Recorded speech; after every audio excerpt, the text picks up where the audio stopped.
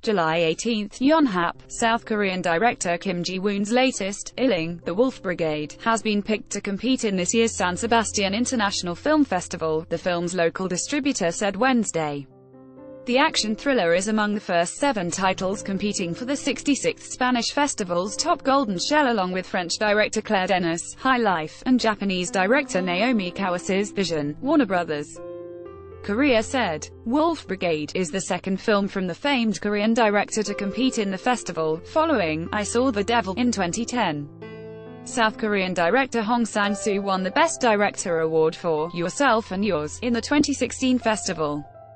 The film, previously known as In Rang, is a live-action adaptation of 1999 Japanese animation, Jin-Roh, The Wolf Brigade, set in 2029 with the two Koreas having agreed to launch a unified government. The film revolves around the actions of a special police unit organized to stop an anti-reunification terrorist sect.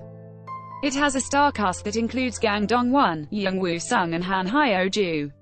The 66th edition of the festival is set to run on September 21-29.